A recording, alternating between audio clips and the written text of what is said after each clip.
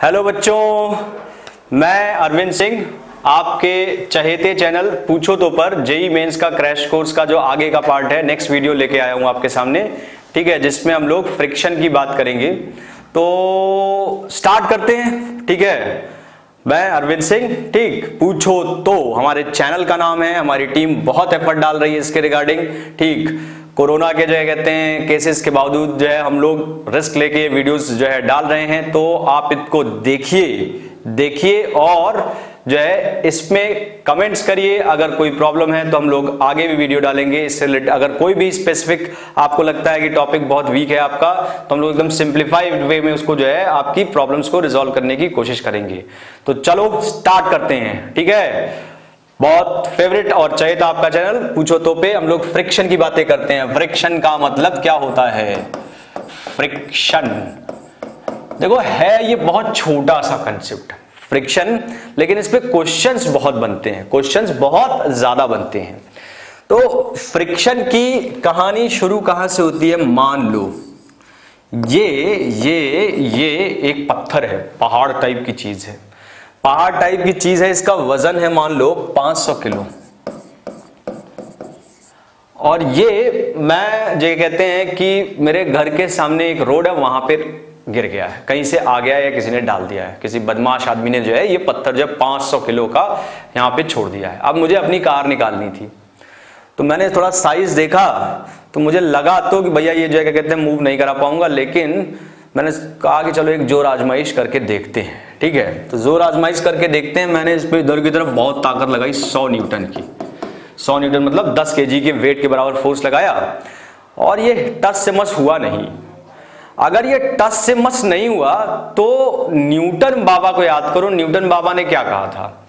कि भाई, अगर कोई नेट एक्सटर्नल फोर्स लगता तो इस, अगर ये रेस्ट पे था तो इसकी वेलोसिटी में चेंज आता। लेकिन 100 न्यूटन का मैंने तो फोर्स लगाया, इस डायरेक्शन में ये मूव नहीं किया। तो मतलब इसको कोई ना कोई ऐसा फोर्स होगा जो कैंसिल करने के लिए लग रहा होगा। तो कोई ना कोई ऐसा फोर्स होगा जो कैंसिल करने के लिए लग रहा होगा। तो है कौन वो? फ्रिक्शन फ्रिक्शन ने क्या किया? 100 न्यूटन लगा दिया और इसको रोक दिया। कहा, रोको, तुमको आगे नहीं बढ़ना है। ठीक है? अब मैंने कहा अच्छा एक बार और एफर्ट एफर्ट डालते हैं। मैंने जो है बहुत फोर्स लगाया। दुबला पतला तो मैं हूँ ही। 225 न्यू 125 न्यूटन का। तब भी ये मूव नहीं किया।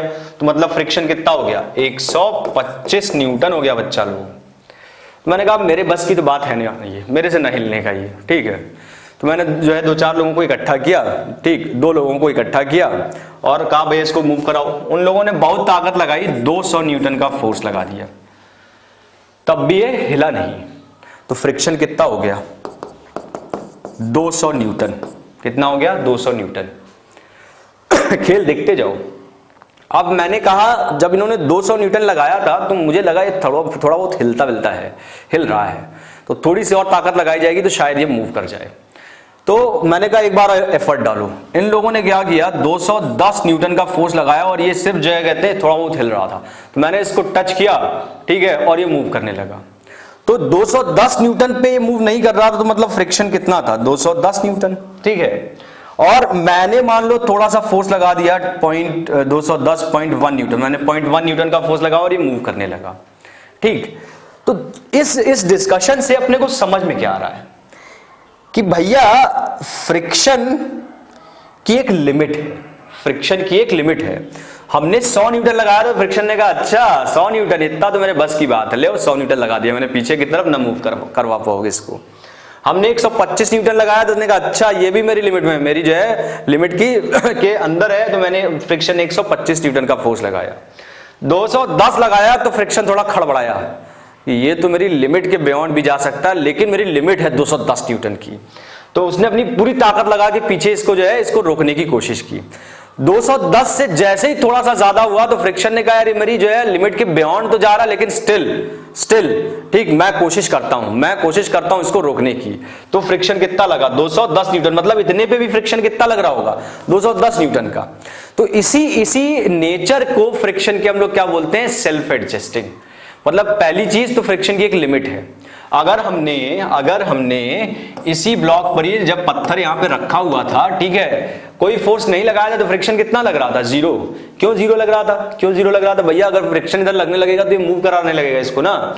तो फ्रिक्शन करता क्या है? फ्रिक्शन एक फोर्स होता है तो ये करता क्या है? जब भी दो सर्फेसेस कॉन्टेक्ट में होती हैं तो उस कांटेक्ट के कारण एक फोर्स लगता है। उस कांटेक्ट फोर्स का जो सरफेस के अलोंग वाला कंपोनेंट होता है, वो फ्रिक्शन होता है और सरफेस के जो परपेंडिकुलर वाला कंपोनेंट होता है, वो नॉर्मल रिएक्शन होता है। ठीक है? क्या मैंने बताया? जब भी दो सरफेसेस कांटेक्ट में होंगी, ठीक है? वैसे भी आजकल कांटेक्ट ज़्यादा नहीं मेंटेन रखना है आपको। सोशल डिस्टेंस मेंटेन रखनी है। किसके कारण? कोरोना के कारण। इसका एक फ़ायदा आपको मिला है टाइम ज़्यादा मिला है जिससे आप अपनी तैयारी अच्छी कर सकते हैं ठीक है? लेकिन घर पे ही रह के करिए। मोदी जी ने कल जनता कर्फ्यू की बात की है तो कल आप जितना ज़्यादा ज़्यादा रहे, रहे घर पे ही रहिए बाहर न निकलिए लोग मित्रों से अपने दोस्तों से न मिलिए। हमारे चैनल पे वीडियोस देखते रहिए हम अच्छे अच्छे वीडियो ले आएँगे जिससे आपके सारे कंसेप्ट क्लियर होते जाएँगे ठीक है? तो हम लोग आगे बात करते हैं। ठीक, हम लोग क्या बात कर रहे थे कि भाई जब इस पर हमने कोई फोर्स नहीं लगाया तो फ्रिक्शन की वैल्यू क्या ज़ीरो मतलब फ्रिक्शन ज़ीरो से लेके एक मैक्सिमम वैल्यू तक था। यहाँ पे हमने एग्जांपल के थ्रू समझने की कोशिश की कि इसकी जो मैक्सिमम वैल्यू है वो क्या है? 210 न्यूटन तो इसी को मैं ऐसे लिखता हूँ। फ्रिक्शन की एक रेंज है शून्य ज़ीरो से लेकर म्यू एस एन तक। म्यू एस एन तक। ठीक, ये स्टैटिक फ्रिक्शन की बात हो रही है। दो तरह के फ्रिक्शन होते हैं स्टैटिक और काइनेटिक ठीक है? तो फ्रिक्शन के बारे में मैंने आपको बताया क्या? जब भी दो सर्फेसेस कॉन्टैक्ट में होती हैं तो एक नेट कॉन्टैक्ट फोर्स लगता है, ठीक है? कांटेक्ट फोर्स का जो सरफेस के अलोंग कंपोनेंट होता है, उसे हम लोग क्या बोलते हैं? फ्रिक्शन और सरफेस के परपेंडिकुलर जो कंपोनेंट होता है, उसे हम लोग क्या बोलते हैं? नॉर्मल रिएक्शन या टेंजेंशियल जो कंपोनेंट होता है, उसे हम लोग क्या बोलते हैं? फ्रिक्शन ठीक है? तो स्मूथ सर्फेसेस में ये फ्रिक्शन नहीं लगता है। स्मूथ सर्फेसेस में ये फ्रिक्शन नहीं लगता तो सिर्फ़ नॉर्मल रिएक्शन लगता था। ठीक है?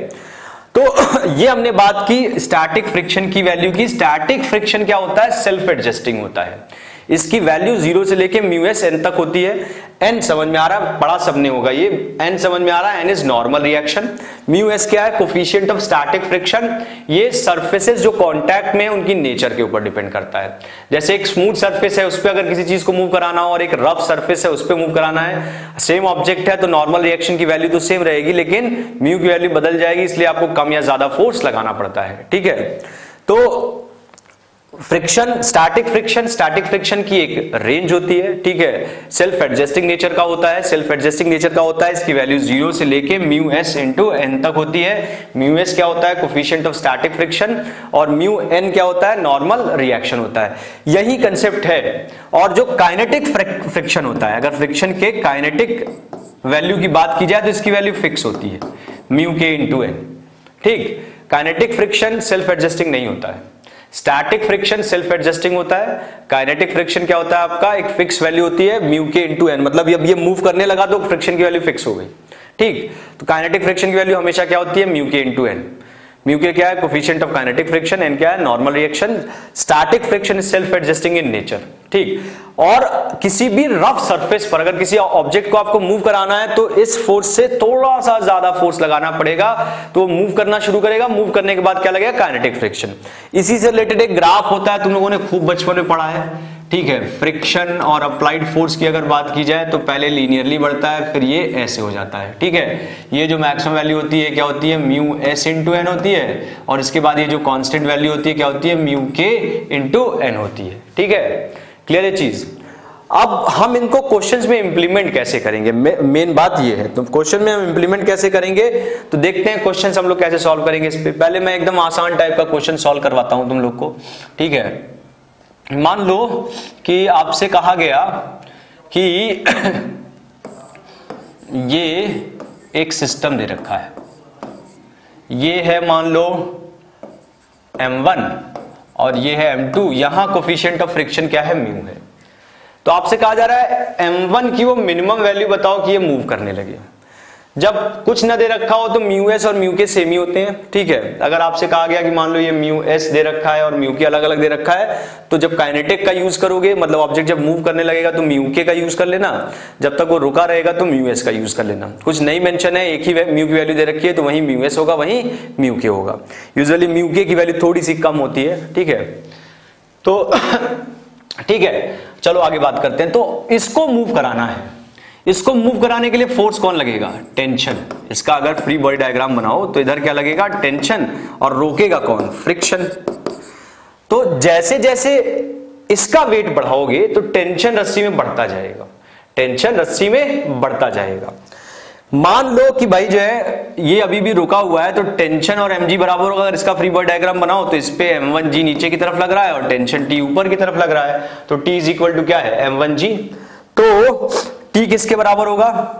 M1g के। अब जैसे जैसे एम वन बढ़ाते जाओगे, वैसे वैसे t क्या होगा? बढ़ता जाएगा। जब तक इसकी value mu s into N से कम या एटमैक्स इसके बराबर, जैसे बराबर होगा तो at the verge of motion आ जाएगा। तो जब तक ये रिलेशन ट्रू है, तब तक ये मूव नहीं करने देगा इसको। तो अगर यहाँ से हम m1 की वैल्यू निकालें तो m1 की वैल्यू क्या हो जाएगी? इज़ लेस देन और equal to mu S N upon G. ठीक है? तो n क्या है? इसके लिए m2g नीचे की तरफ़ लग रहा था और नॉर्मल रिएक्शन ऊपर की तरफ़। इस डायरेक्शन में कोई मोशन हो नहीं रही है तो नॉर्मल रिएक्शन क्या हो जाएगा? M2g के बराबर हो जाएगा। नॉर्मल रिएक्शन जब भी निकालना हो तो जो भी कॉन्टैक्ट सरफेस है, उसके परपेंडिकुलर वाले डायरेक्शन में जितने भी फोर्सेज लग रहे हैं, उनको बैलेंस करा दो। उनको बैलेंस करा दो तो तुम्हें नॉर्मल रिएक्शन मिल जाएगा, ठीक है? तो इस केस में वैल्यू क्या आ गई आपकी? M1 should be less than और equal to mu S into M two G upon G G ने जी को मार दिया। एम वन इज़ लेस और equal to mu S into M two ठीक है? क्लियर है चीज़? तो ये एकदम चिंती सवाल था। चलो, आगे बात करते हैं। मान लो, चलो नेक्स्ट स्लाइड पे सॉल्व करेंगे हम लोग। मान लो आपसे कहा गया कि ये ये ये ये। दो ब्लॉक का सिस्टम है। मान लो इसका मास है m1 इसका मास है m2 इस पे लग रहा है फोर्स F, ये वाली सरफेस है स्मूथ ठीक, इनके बीच में फ्रिक्शन है म्यू तो एक्चुअली में होगा क्या अगर ये एक्सपेरिमेंट तुम करो, एक ब्लॉक के ऊपर दूसरा ब्लॉक रखो, नीचे वाले पे फोर्स लगाओ। बहुत तेज़ी से अगर उसको खींच दोगे तो नीचे वाला ब्लॉक आगे आ जाता है और वो नीचे दड़ाम से गिर जाता है, ठीक है? और धीरे धीरे अगर पकड़ के खींचो तो हो सकता है दोनों ब्लॉक एक साथ मूव करें, ठीक? तो आपसे दो तीन चीज़ें पूछी जा रही हैं। कि इस फोर्स की वो मिनिमम वैल्यू बताओ M2 M1 के ऊपर स्लाइड करना शुरू कर दे। M2 M1 के ऊपर स्लाइड करना शुरू कर दे। तो एक यहाँ पे एक एक जो मिसकंसेप्शन लोगों के अंदर होता है, इस कंसेप्ट इस क्वेश्चन के थ्रू हम वो भी सीख सकते हैं। लोग कहते हैं कि हमेशा फ्रिक्शन जो होता है मोशन का अपोज करता है। हमेशा मोशन का अपोज नहीं करता है। मोशन को सपोर्ट भी करता है। जैसे, अगर मान लो कि दोनों एक साथ मूव कर रहे हैं, दोनों का एक्सेलेशन सेम है। तो दोनों का अगर एक्सेलेशन सेम है तो ए इज़ इक्वल टू क्या होगा? F upon M one plus M two ये एक्सेलेशन होगा। इसका भी m1 का भी एक्सेलेशन ये है और m2 का भी एक्सेलेशन ये है। तो ये जो फोर्स F लग रहा है m1 पे लग रहा है तो m1 पे तो एक्सेलरेशन है, ये समझ में आ रहा है। M2 के पास एक्सेलरेशन कहाँ से आया? तो देखो, जब m1 आगे जाएगा तो अगर इस पे खड़े को ऑब्ज़र्व करोगे तो पीछे जाने की टेंडेंसी रखेगा ना। तो पीछे जाने की टेंडेंसी रखेगा तो m2 का अगर, चलो पहले m1 का फ्री बॉडी डायग्राम बना लेते हैं। ये फोर्स लग रहा है F तो इस पे जो फ्रिक्शन होगा वो लगेगा इधर की तरफ़। ठीक? ये लगेगा फ्रिक्शन ये है m1 का फ्री बॉडी डायग्राम और अगर m2 का फ्री बॉडी डायग्राम बनाओ तो इस पे एक लौता जो है फ्रिक्शन इधर की तरफ़ लगेगा। और फोर्सेस तो लगेंगे ही m2 और नॉर्मल रिएक्शन ये फ्रिक्शन ही इसको आगे की तरफ़ बढ़ा रहा है। ठीक है? और ये वाला फ्रिक्शन और ये वाला फ्रिक्शन बराबर होगा न्यूटन बाबा का तीसरा नियम। Every action has equal and opposite reaction ठीक है? क्लियर है चीज़? तो इस अगर एक्सेलरेशन दोनों का ये है तो जैसे जैसे ये देखो फोर्स एफ़ बढ़ाओगे वैसे वैसे एक्सेलरेशन क्या होगा? बढ़ेगा ना। और एक्सेलरेशन इसको प्रोवाइड कौन कर रहा है? फ्रिक्शन तो इसको अगर फ्रिक्शन प्रोवाइड कर रहा है तो फ्रिक्शन की एक लिमिट है ना भाई। उसके बियॉन्ड ये एक्सेलरेशन नहीं प्रोवाइड कर पाएगा। तो अगर हम बात करें कि जब तक जब तक इसका इसका, इसको जो फोर्स की एक्सेलरेशन की रिक्वायरमेंट है मतलब m2 two into F upon M one plus M two ठीक है? This is less than less than और equal to maximum value of static friction M two into G जब तक ऐसा है, जब तक ऐसा है, तब तक ये और M2 और M1 साथ में मूव करेंगे। देखो किया क्या मैंने। कंफ्यूज मत हो। फिर से बताता हूँ पूरा, ध्यान समझो। ठीक है? है क्या? आप फोर्स लगा रहे हो इस पे तो इसको मूव करना चाहिए। अब इसके साथ साथ M2 भी मूव कर रहा है और उसके ऊपर स्लाइड नहीं कर रहा है। स्लाइडिंग नहीं हो रही है। तो स्लाइडिंग नहीं हो रही है तो दोनों का एक्सेलेशन अगर सेम है तो M2 को एक्सेलेशन प्रोवाइड करने के इकलौता फोर्स लग रहा है फ्रिक्शन ठीक है? फ्रिक्शन के अलावा और कोई फोर्स ही नहीं है जो इसको जो कहते हैं मूव करा सके। ठीक? तो अब हमने नेट एक्सेलेशन निकाल लिया A is equal to F by M one plus M two यही एक्सेलेशन इसका भी होगा, क्या होगा? M two F upon M one plus M two ठीक है? तो इस पे लगने वाला फोर्स मिल गया अपने को। अब ये जैसे जैसे ये फोर्स बढ़ाते जाओगे तो ये एक्सेलेशन क्या होगा? बढ़ता जाएगा। ये एक्सेलेशन बढ़ता जाएगा तो इस पे जो रिक्वायर्ड फोर्स होगा दोनों को साथ मूव कराने के लिए वो भी बढ़ता जाएगा। वो फोर्स मिल कहाँ से रहा है? वो फोर्स मिल रहा है फ्रिक्शन से। कहाँ से मिल रहा है? फ्रिक्शन से। तो फ्रिक्शन की तो एक लिमिट है ना भाई। अगर उसके बियॉन्ड जाओगे तो M2 M1 के ऊपर स्लाइड करना शुरू कर देगा। ठीक है? तो इसलिए कंडीशन लिखी है मैंने। M2 ने M2 को मार दिया। तो F इज़ लेस देन और equal to mu S into M one plus M two into G ठीक है? ये कंडीशन आ गई। ठीक? ये कंडीशन आ गई। तो अगर f की मैक्सिमम वैल्यू पूछी जाए तो f की मैक्सिमम वैल्यू क्या हो जाएगी? जब तक दोनों ब्लॉक्स मूव साथ में मूव करेंगे तो क्या हो जाएगा? Mu S M one plus M two into G ठीक? याद करने की ज़रूरत नहीं है। एक क्वेश्चन के थ्रू हम एक डेटा के थ्रू इसको सॉल्व करते हैं तो और थोड़ा समझ में आएगा तुम लोग को। तो एक डेटा के थ्रू अगर सॉल्व करते हैं, मान लो मैंने कहा कि ये है दस किलो का, ये है पाँच किलो का, और इस पर फोर्स लग रहा है सौ न्यूटन, और म्यू एस जो है वो है मान लो पॉइंट फाइव है। ठीक है, ये दे रखा है। अब कहा क्या जा रहा है कि बताओ भैया, दोनों का एक्सेलरेशन क्या होगा? तो दोनों का एक्सेलरेशन क्या होगा? तो हम दोनों का कंबाइंड एक्सेलरेशन निकाल लेते हैं। दोनों का कंबाइंड एक्सेलरेशन निकाल लेते हैं। कंबाइंड एक्सेलरेशन क्या होगा? 100 डिवाइडेड बाई 15 ठीक है तो 100 डिवाइडेड बाई 15 मतलब कितना हो गया? 100 पाँच से डिवाइड करो तो 20 by three metre per second square ठीक, ये हमने निकाल लिया। अब जो 5 के वाला ब्लॉक है, उसके ऊपर ध्यान दो। 5 के वाले ब्लॉक को इधर कौन मूव करा रहा है? फ्रिक्शन तो friction is equal to M two into A ठीक है? या फाइव इंटू ए लिख लेते हैं, ज़्यादा सही रहेगा। तो फाइव इंटू ए ए कितना है? Friction is equal to five into A कितना आया? ट्वेंटी बाई थ्री तो ये हो गया हंड्रेड बाई थ्री अब फ्रिक्शन की मैक्सिमम वैल्यू क्या हो सकती है? अगर ये फ्रिक्शन की रेंज में होगा तो ये प्रोवाइड कर पाएगा इतना। अगर फ्रिक्शन की रेंज के बियॉन्ड चला गया तो ये निपट जाएगा तो फ्रिक्शन की जो मैक्सिमम वैल्यू है वो क्या है? म्यू एस इंटू एन ठीक है? म्यू एस कितना दे रखा है? म्यू एस दे रखा है पॉइंट फाइव इंटू एन कितना होगा? पचास। एम टू जी की बात कर रहे हैं ना तो कितना हो गया? पच्चीस न्यूटन। अब पच्चीस न्यूटन और हंड्रेड बाई थ्री पच्चीस न्यूटन और हंड्रेड बाई थ्री ठीक हंड्रेड बाई थ्री मतलब ये कितना आएगा? Thirty three point three three newton. ऐसे ही तो कुछ आएगा ना। फ्रिक्शन इतना ही प्रोवाइड कर सकता है और दोनों को साथ मूव करने के लिए इतना इतना जो है फोर्स चाहिए तो कहाँ से फ्रिक्शन दे पाएगा? तो फ्रिक्शन दे नहीं पाएगा तो मतलब फाइव के वाला जो ब्लॉक है, वो टेन के के ऊपर क्या करेगा? स्लाइड करेगा? या अभी हमने जो रिज़ल्ट निकाला था, वो एफ़ की मैक्सिमम वैल्यू क्या थी? Mu of M one plus M two into G तो म्यू कितना दे रखा है? म्यू दे रखा है पॉइंट फाइव दोनों का एडिशन निकालो दस पाँच, पंद्रह इंटू दस ठीक है? तो इससे भी निकालोगे तो चीज़ें क्या आएँगी? सेम आएँगी। क्लियर है चीज़? तो आगे हम लोग बात करते हैं। अब अगर एक्सेलरेशन जो क्या कहते हैं? अलग अलग है। तो अगर एक्सेलरेशन अलग अलग है तो निकाल लेते हैं। एक बार चेक कर लेना। कैलकुलेशन में कोई मिस्टेक ना हो बच्चा लोग। ठीक है? बाकी कंसेप्ट तो यही है, क्योंकि कैलकुलेशन मेरी बहुत वीक है। तो अब अगर एक्सेलेशन अलग अलग है, दोनों का फ्री बॉडी डायग्राम बना के दोनों का एक्सेलेशन निकाल लेते हैं। कौन सी बड़ी बात भाई? ठीक। क्लियर है चीज़ सबको? पक्का? श्योर चलो। आगे चलते हैं। एक, दो सवाल और इस पे हम लोग करते हैं। ठीक।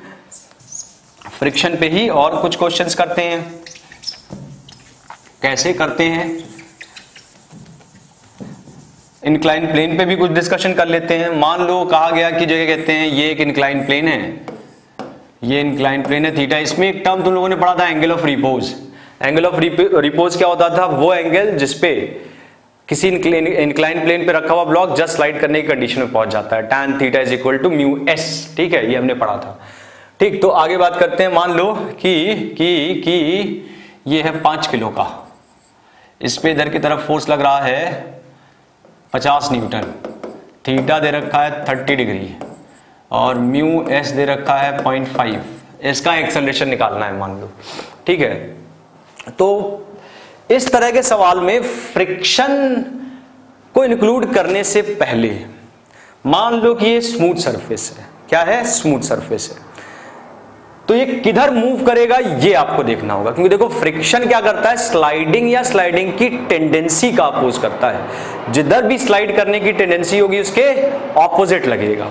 तो स्लाइड करने की टेंडेंसी को डिसाइड करने के लिए आपको ये देखना पड़ेगा कि इस पे और कौन कौन से फोर्सेस लग रहे हैं। तो इसका अगर मैं फ्री बॉडी डायग्राम बनाऊँ तो फ्री बॉडी डायग्राम बनाया तो ये आया पचास न्यूटन तो लग ही रहा है। एम के दो कंपोनेंट हुआ करते थे, मैं डायरेक्टली लिख दे रहा हूँ। एम जी साइन थीटा एक इधर आता था और इधर क्या आता था?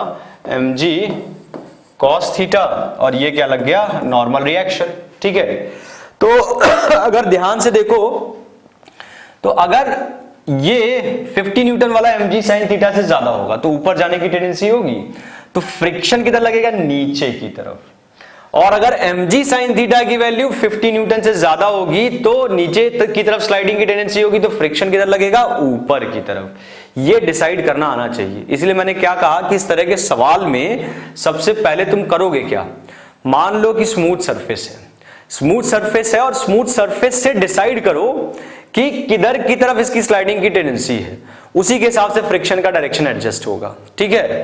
फ्रिक्शन एक फरिश्ता टाइप से होता है, जो कमज़ोर होता है, उसको सपोर्ट करने की कोशिश करता है। जो भी कमज़ोर होता है, उसको सपोर्ट करने की कोशिश करता है, इस तरीके से फ्रिक्शन होता है, ठीक है? तो देखते हैं भाई एम जी साइन थीटा भी हम कैलकुलेट कर लेते हैं, सब तो दे रखा है। पाँच इंटू दस into sine thirty one by two पाँच। कितना हो गया? पच्चीस न्यूटन। भैया पच्चीस न्यूटन लग रहा है और उधर फोर्स किधर लग रहा है? पचास न्यूटन, ठीक। तो अगर हम लोग बात करें तो फ्रिक्शन किधर लगेगा? इस पे इधर लगा 50 न्यूटन और इस पे इधर लगा 25 न्यूटन। तो फ्रिक्शन भाई साहब क्या करेंगे? इसको जो है इधर की तरफ़ रोकने की कोशिश करेंगे। अब मुद्दे की बात आती है, ये मूव करेगा कि नहीं करेगा?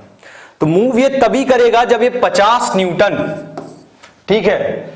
ठीक at the verge of motion होगा, जब ये 50 न्यूटन इज़ इक्वल टू क्या होगा? 25 प्लस फ्रिक्शन की maximum value mu S into N N इस केस में क्या होता है? म्यू एस एन होता है एम जी कॉस थीटा तो एम जी कॉस थीटा यहाँ से निकाल लो, ये तो था 50 into root three by two तो 25 रूट थ्री पच्चीस रूट थ्री तो ये आ गया 25 प्लस म्यू एस कितना था? म्यू एस था पॉइंट फाइव तो पॉइंट फाइव इंटू पच्चीस इंटू रूट थ्री ऐसा कुछ अगर होगा मतलब अगर ऐसा होगा तो ये at the at the verge of motion होगा मतलब इन दोनों को अपने को क्या करना है? कंपेयर करना है इक्वल टू का साइन ना लगाओ यार।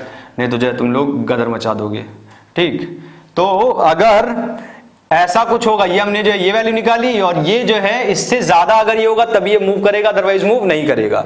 तो ये 25 आया 25 into point five twelve point five पच्चीस plus twelve point five into one मान लेते हैं, ठीक है? तो वन पॉइंट सेवन करोगे तो दो दो दो पच्चीस प्लस सत्रह अपना पचासी पाँच, आठ, सत्रह दुना चौंतीस, आठ बयालीस, और दो चार, सत्रह एकम सत्रह, और चार इक्कीस। तो दो पॉइंट पे डेसिमल अब देखो ये कितना आ रहा है? ये आ रहा है तुम्हारा पच्चीस ट्वेंटी वन। 46.25 न्यूटन। ठीक है तो ये ब्लॉक ऊपर की तरफ़ मूव करेगा। अगर एक्सेलरेशन निकालना होगा तो एक्सेलरेशन कैसे निकालोगे? 50 माइनस जो भी ये वैल्यू आई है 46.25 इज़ इक्वल टू 5a इससे एक्सेलरेशन मिल जाएगा। मुद्दे की बात समझ में आई कि नहीं? तो मुद्दे की बात क्या है? अगर इस तरह का सवाल पूछा जाएगा, इस तरह का अगर सवाल पूछा जाएगा तो सबसे पहला काम क्या करना है? सरफेस को स्मूथ मान लो। सरफेस को स्मूथ मान लो। स्मूथ मान के देखो, इसकी पहले स्लाइड करने की टेंडेंसी किधर है? स्लाइड करने की टेंडेंसी जिधर होगी, उसके ऑपोजिट जो है फ्रिक्शन लगेगा मतलब उसको ये सपोर्ट करेगा, या तो एम जी साइन थीटा को सपोर्ट करता, या 50 न्यूटन का जो फोर्स लग रहा था, उसको सपोर्ट करता, ठीक है? तो यहाँ पे हमने देखा एम जी साइन थीटा की वैल्यू 25 न्यूटन तो एम जी साइन थीटा कमज़ोर पड़ रहा था। तो फ्रिक्शन कहेगा, कह रहा था, मैं तुम्हारी मदद करूँगा। 50 न्यूटन जो है कहते हैं, बहुत ताकतवर इंसान है, वो तुम्हारे ऊपर जो है, जुल्म कर रहा है। तो जुल्म कर रहा है तो मैं मैं मैं मैं तुम्हारी मदद करूँगा because I am an angel मैं फरिश्ता हूँ। ठीक है? तो अब अगर दोनों मतलब एम जी साइन थीटा और फ्रिक्शन दोनों मिलके अगर 50 न्यूटन ज़्यादा होंगे, उसमें फ्रिक्शन क्या है? फ्रिक्शन की मैक्सिमम वैल्यू तो जो है इसको रोक लेंगे। ठीक। अगर दोनों मिलके भी 50 न्यूटन से कम हुए तो 50 न्यूटन तो जीत ही जाएगा ना भाई। ठीक। ताकतवर जो होता है वो तो जीत, जीतता ही है। तो फ्रिक्शन चाहता क्या है? फ्रिक्शन चाहता है कि जो दो सर्फेसेस हैं उनके बीच में कोई रिलेटिव मोशन ना हो। ठीक, दो सरफेसेस को अलग नहीं होने देना चाहता है। मतलब फ्रिक्शन दो प्रेमियों को अलग नहीं होने देना चाहता है, ऐसा मान लो। अपनी पूरी ताकत जो है, जैसे पुराने जमाने में क्या कहते हैं, जो विलन हुआ करते थे, ठीक तो विलन अगर दो जो है, क्या कहते हैं, आपके लव बर्ड्स हैं तो उनको अलग करने की कोशिश करते थे तो कोई सपोर्ट करता था उनका। तो जो सपोर्ट करने वाला काम करता है, वो कौन करता है? फ्रिक्शन करता है। ठीक है? क्लियर है चीज़? सबको चलो, फिर आगे चलते हैं। एक आध क्वेश्चन में इसी पे आपको और करा देता हूँ। और कैसे क्वेश्चंस होते हैं कुछ? कंसेप्ट इतना ही है यार। कंसेप्ट जो कहते हैं, अगर सीख गए तो क्वेश्चन सॉल्व करोगे। और क्वेश्चन सॉल्व करो। अगर कोई क्वेश्चन सॉल्व नहीं होता है कमेंट सेक्शन में आप मेंशन करो। मैं क्वेश्चन सॉल्व करके आपको जो है, उन पे वीडियोस भी मैं बना के पे अपलोड कर दूँगा। ठीक है? तो आप क्वेश्चन सॉल्व करो। जितने क्वेश्चंस कर सकते हो, अब तो आपके पास टाइम भी आ गया है। टाइम मिल जाएगा आप लोग को ठीक ठाक ठीक है? तो हम लोग, चलो एक एक क्वेश्चन और मैं करा देता हूँ। मान लो आपसे कहा गया कि आसान सा सवाल है एकदम, कोई डिफ़िकल्ट नहीं है। मान लो ये एक टर्न टेबल थी। डायग्राम यार मैं बना नहीं पाऊँगा। ये टर्न टेबल जो है ऐसे ओमेगा से रोटेट कर रही थी। कैसे? ओमेगा से रोटेट कर रही थी। बहुत आसान टाइप का सवाल है, कोई डिफ़िकल्ट नहीं है। और जो है कहते हैं कि यहाँ पे एक ये ब्लॉक रखा हुआ था। आपसे कहा जा रहा है, ये आर डिस्टेंस पे रखा हुआ है। इनके इस टेबल और ब्लॉक के बीच में जो कोफिशियंट ऑफ़ फ्रिक्शन है, वो म्यू है। तो आपसे कहा जा रहा है कि मैक्सिमम ओमेगा बताओ, जब तक ये स्लाइड ना करें। कंडीशन सेम है। देखो, ऐसे रखा हुआ है, इसको गोल गोल घुमा रहे हो। तो क्या क्या फोर्सेस लग रहे हैं? एक लग रहा है एम जी नीचे की तरफ़ कांटेक्ट कारण नॉर्मल रिएक्शन ऊपर की तरफ़। अब फ्रिक्शन अलोंग द सरफेस लगेगा या तो अंदर की तरफ़ लगेगा या तो बाहर की तरफ़ लगेगा। तो आपको स्लाइडिंग की टेंडेंसी ढूंढनी है, उसके ऑपोजिट लगेगा फ्रिक्शन तो अगर ये बहुत तेज़ी से अगर भागेगा, घूमेगा तो इस ब्लॉक की स्लाइड करने की टेंडेंसी किधर होती है? बाहर की तरफ़। सेंट्रीफ्यूगल फोर्स बचपन पढ़ा था। ठीक है? तो अगर स्लाइड करने की टेंडेंसी इसकी बाहर की तरफ़ है तो फ्रिक्शन अंदर की तरफ़ इसको जो है फोर्स लगा के रोकेगा। तो मतलब एक तरीके से देखा है तो इस पे एक अंदर की तरफ़ ये गोल गोल ऐसे सर्किल में मूव कर रहा है तो इस पे इसको एक सेंट्रीपिटल फोर्स चाहिए। सेंट्रीपिटल फोर्स क्या होता है? एम आर ओमेगा स्क्वायर ये कौन प्रोवाइड कर रहा है? फ्रिक्शन तो जैसे जैसे ओमेगा बढ़ाओगे तो ये रिक्वायरमेंट बढ़ती जाएगी ना। ये रिक्वायरमेंट अगर बढ़ती जाएगी तो फ्रिक्शन भी बढ़ेगा।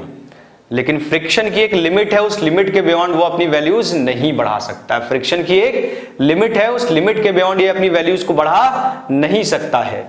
तो जब तक M R omega square is less than और equal to mu S into N मतलब एम जी तो एम एम कैंसिल हो गया तो omega square is less than और equal to mu S G upon R तो ओमेगा अगर लिखोगे तो ओमेगा क्या होगा?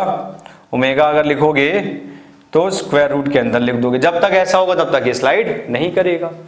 ठीक है? ऐसे बहुत एन नंबर ऑफ़ क्वेश्चंस बन सकते हैं। फ्रिक्शन का बेसिक कंसेप्ट सेम ही है। बैंकिंग ऑफ़ रोड पढ़ी थी हम लोगों ने। ठीक है, उसमें मैक्सिमम और मिनिमम वेलोसिटी की बात की थी। तो एन नंबर ऑफ़ क्वेश्चंस बन सकते हैं। बेसिक फ्रिक्शन का आपको अपने दिमाग में रखना है। बेसिक फ्रिक्शन का ये है कि, जैसे चलो एक सवाल और करवा देता हूँ, बड़ा फ़ेमस क्वेश्चन है। ये भाई साहब हैं, यहाँ पे एक जो है ब्लॉक रखा हुआ है, ठीक है? ये एक ब्लॉक रखा हुआ है, ये ए एक्सेलेशन से इधर जा रहा है तो बताओ मैक्सिमम एक्सेलेशन जब तक ये, ठीक है, ये नीचे स्लाइड ना करे, या ए की वो वैल्यू जब तक ये स्लाइड ना करे। तो इसको स्लाइड कौन कराएगा? एम जी अपोज कौन करेगा? फ्रिक्शन तो जब तक M G is less than और equal to maximum value of friction मतलब म्यू एस इंटू एन तो तब तक मतलब तब तक जो है कहते हैं ये स्लाइड नहीं करेगा। अब एन यहाँ पे निकालना बड़ी चीज़ है। बड़ी चीज़ क्या है? एन जो है, देखो इस पे नॉर्मल रिएक्शन इधर की तरफ़ लग रहा है ना? और ग्राउंड से देखोगे तो ये भी तो ब्लॉक के साथ एक्सेलेशन से इधर जाता हुआ दिखाई देगा ना? तो एन इज़ इक्वल टू क्या हो गया? एम ए तो मतलब M G is less than और equal to mu S into M A तो तब जब तक है, ये रिलेशन होल्ड करता है, ये नीचे स्लाइड नहीं करेगा। जहाँ ये रिलेशन गड़बड़ हो गया तो ये स्लाइड करना नीचे की तरफ़ शुरू कर देगा। ठीक है? क्लियर है चीज़ सबको? श्योर ना?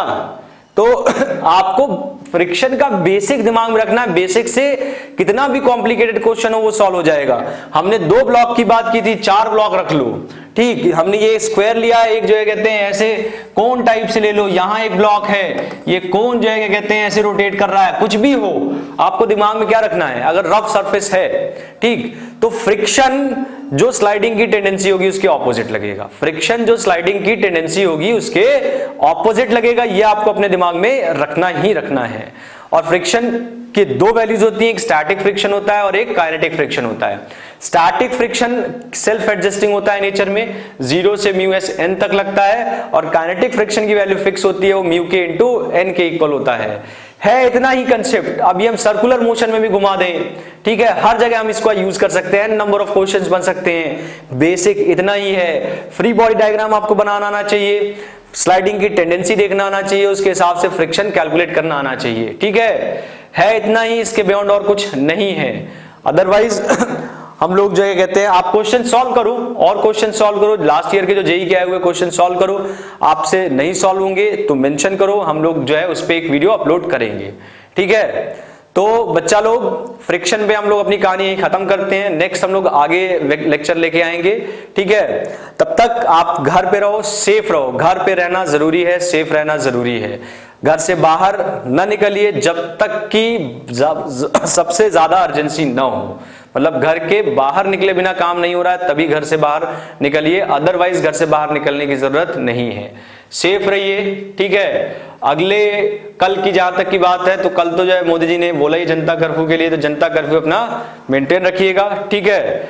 हमारे चैनल को सब्सक्राइब करिए, देखिए जो भी प्रॉब्लम है, उस पर आप कमेंट करिए, हम लोग आगे इसको मेंशन करेंगे, ठीक है? तो नेक्स्ट लेक्चर में हम लोग फिर मिलेंगे, जो भी टॉपिक होगा उसके रिगार्डिंग चलिए नेक्स्ट क्लास मिलते हैं थैंक यू